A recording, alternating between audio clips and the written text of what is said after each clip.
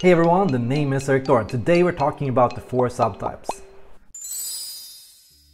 Every personality type can be divided into four possible subtypes. And typically you can think of the subtypes as changeable states. These subtypes, they're not permanent, they're constantly changing and most people's moods will vary from situation to situation. So you can use the subtypes to predict how the 16 personalities will change from situation to situation depending on how they're feeling. The subtypes are four in uh, number. That means there is a flow subtype, there is a stress subtype, there is an inspired subtype, and there is a balanced subtype. So, how do you distinguish the four? The flow subtype is the assertive subtype. Those INFJs or ENFPs or ESTPs are the most confident. When you are feeling confident, when you are feeling assertive, when you're in the lead, you tend to take on the dominant qualities of your personality type. That's when you're the most yourself. When you're in flow, everything comes natural to you. You're motivated, you're engaged, you're having fun, and you believe in yourself and you have generally high trust in what you do. We all have high days and low days. And on low days, we switch to the stress subtype. We go to stress when we are faced with challenges above our skill level, and when we're forced to do things outside our comfort zone. Sometimes life can get difficult, and that means you'll be faced with tasks outside what you enjoy to do. When you go into stress, you go into the opposite personality traits of what you're used to do. INFPs acting like ESTJs, ESTJs acting like INFPs. We become our literal opposite, or rather, we try to be our opposite. The problem with the stress subtype is that the stress subtype is met with challenge above their skill level, so often they can stumble or be clumsy about this function. They struggle with using it properly and they find themselves feeling quickly drained by it. It's overwhelming or difficult. So, when we are in stress, we might lash out or we might uh, act in an unnerving or unbalanced manner. We might do things or say things we normally wouldn't. We'll experience stronger negative emotion and turbulence. And this can get us to be a bit fluctuating or a bit insecure. So, when you're in stress, it's important to find ways to lower the challenge level and to keep the challenge manageable. There is a level of your inferior function that is completely within your comfort zone. You can handle a high degree of your inferior function and you can use it for a long time. However, you can't use it as well as you could your flow function. And so, you want to learn to dose this function as much as possible and to relax expectations. Let this function come and be fair and kind to yourself and accepting of yourself when you do things that you're not that good at. Everyone has their weaknesses, nobody is perfect, so don't expect too much from yourself. Don't expect yourself to be every single personality type at the same time, perfectly. That's never gonna happen.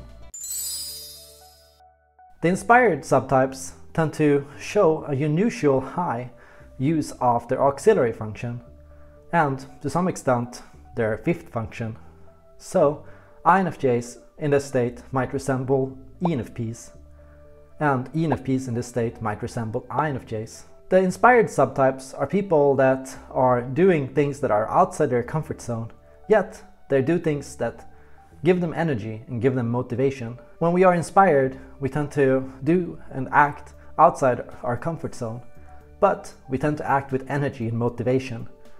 We are challenged, but we feel inspired to meet the challenge, and we find it fascinating, fun, and exciting, even exhilarating. It's like being on a roller coaster.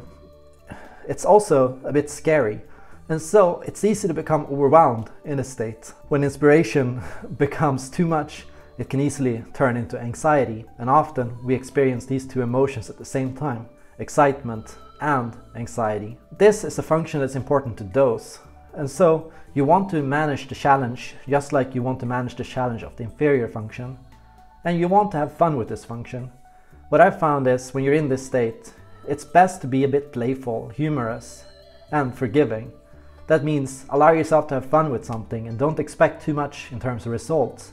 Don't expect yourself to be great at it, but just let it be what it is. It's a humorous function, so it's a function that benefits from high dose of humor, being able to laugh at yourself while you do something and being able to let go of perfectionism or being able to think positively about what you do and to be, okay, I don't know what I'm doing, but I'll figure it out. Often, that's the best way to solve the anxiety of this function too. If you're able to think positive and if you're able to laugh at the situation, it's a lot easier to manage your nerves. On the other side of this subtype is the balance subtype. You could also call this the bored subtype or the autopilot. When you go too much into the tertiary function, it can feel as if you get stuck in a loop. You keep reliving the same thoughts over and over again. You keep moving in a spiral-like pattern. You're not growing or changing, but you stay calm, you stay stable. We go to the tertiary for balance, to recharge, and to get energy, especially if we're introverted. Extroverts go to the tertiary because it's a repetitive cycle or a pattern for them. It's um, doing things without thinking. For the introvert, the tertiary provides relief and recharge. For the extrovert, the tertiary provides an endless source of fun and action, even if the action feels empty or unsatisfying or unfulfilling. So introverts tend to go into the tertiary because it allows them to uh, connect with and stay in touch with themselves. There are no contradictions, there is nothing to scare you, nothing to upset you. You're often avoiding something. You're avoiding something difficult or scary or unnerving. You're avoiding a new opportunity or a possibility, perhaps a new relationship, or perhaps a goal or a desire or idea that you'd had that you thought about doing.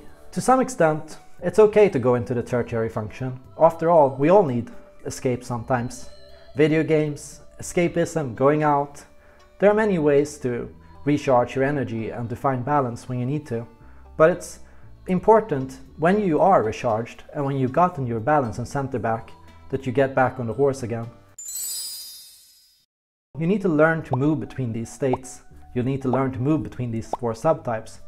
If you attach on one subtype, you develop a fixation, perhaps a fixation with balance or harmony, perhaps a fixation with constant streams of challenge and excitement, even if it makes you overwhelmed, perhaps a fixation with stress, work and challenge and demands, pressure on you that's from the outer world, a desire to present the perfect persona a perfect image to the world. Or perhaps a fixation with your dominant function, a desire to always be the leader, to always dominate, and to always be the one in charge. Even if that means you take over and you stop other people from getting that same chance. We have to learn to flow with the world and to flow with all our cognitive functions. We have to learn to move between all of them in order to stay balanced and in order to stay in a healthy dose of flow. Flow is moving with your environment and learning to find a natural way to respond to and experience all these functions. When you're in conflict with any of these functions, that function will work against you and it's going to suck your energy and it's going to cause you problems. But when you're able to master all functions, you're to have more fun, you're to have more fulfilling lives. So, that's the flow code. I hope you enjoyed it and don't forget to subscribe for more videos like this. See you all in the next video.